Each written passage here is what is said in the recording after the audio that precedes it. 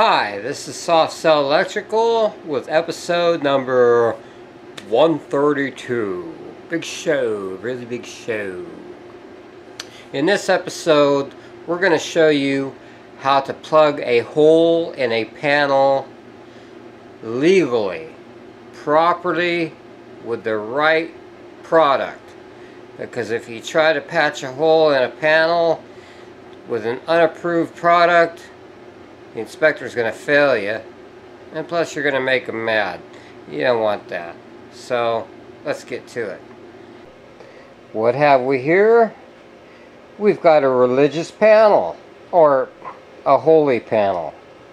And we've got to fill that in with a approved plug.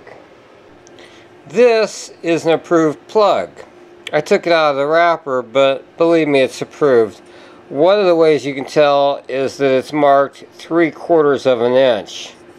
And plus it has these little flanges out there. So, you get these flanges out one at a time. That's one. And then you want to go to the opposite side. And then let's go over here. And if you want to put a really nice touch on it, you can kind of tap them down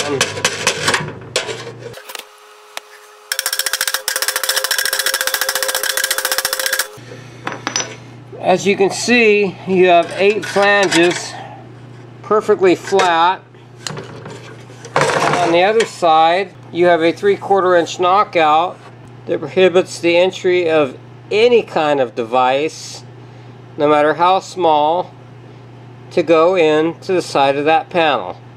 And that is how you properly repair a hole or unused hole in a panel.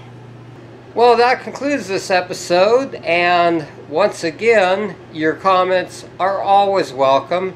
I'd like to thank you for watching, and have a great day. Bye-bye now.